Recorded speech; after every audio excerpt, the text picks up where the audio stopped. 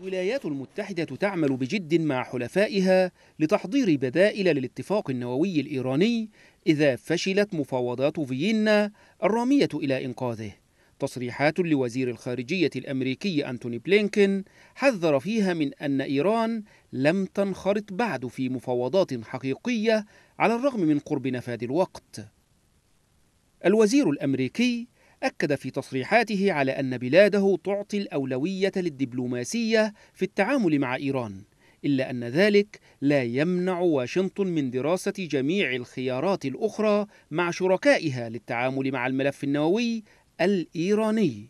تصريحات جاءت بعد تقارير عن خطط أمريكية إسرائيلية لإجراء تدريبات عسكرية استعدادا لسيناريو تدمير المنشآت النووية الإيرانية إذا أخفقت المساعي الدبلوماسية. في الوقت الذي حذر فيه مسؤولون إسرائيليون من أن إيران تقترب من تخصيب كمية اليورانيوم اللازمة لصنع قنبلة نووية وأنه سيكون من الأسهل العمل ضد طهران قبل أن تتجاوز ذلك الحد.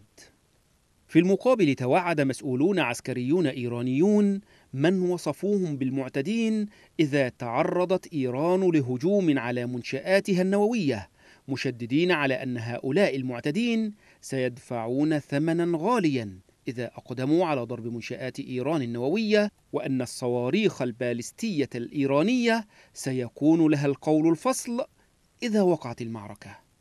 وبحسب محللين فإن تمادي إيران غير المسبوق سواء في اقترابها من إمكانية تصنيع قنبلة نووية أو في عربدتها المتصاعدة في مياه الخليج العربي وممرات الملاحة الدولية ناهيك عن الأنشطة الإرهابية للميليشيات الموالية لها في أنحاء الشرق الأوسط كل ذلك قد يدفع الأمور إلى نقطة لا عودة لتصبح الحرب ضد طهران حلا اضطراريا لكبح جماحها والحفاظ على الأمن والسلم في الشرق الأوسط وفي العالم كذلك.